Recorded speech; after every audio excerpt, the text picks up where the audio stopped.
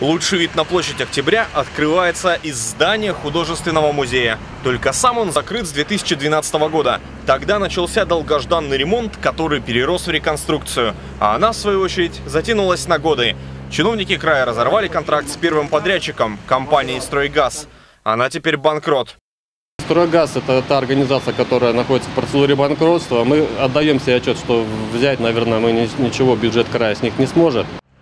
Теперь на объекте работает новый подрядчик, компания Self. Ей исправлять ошибки предыдущих строителей и, конечно, восстанавливать то, что унесло время. Верхний, третий этаж. И нам повезло попасть сюда после дождя. Вот такая картина. Прямо таки находка для мариниста.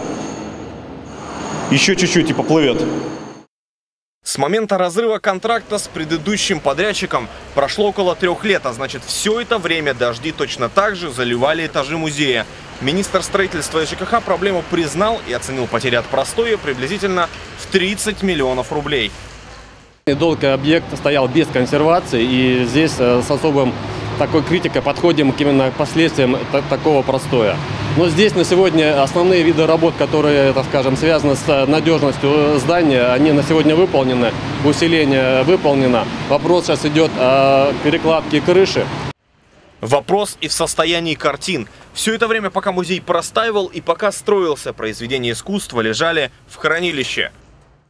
Сейчас, безусловно, э, хранятся работы ну, в очень тесном состоянии. То есть, по большому счету, несмотря на то, что мы ежегодно 4 раза в год производим закупку работ, э, ну, практически нам уже сложно куда-то их э, загружать.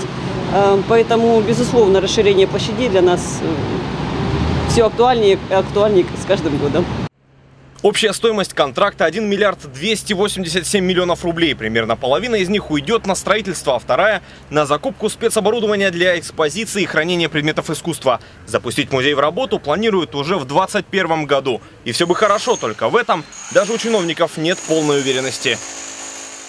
Как говорят про стройку, да, ее можно и время, и деньги умножать на два, и, и, и то не угадаешь. Андрей Дриер, Николай Шелко. День с толком.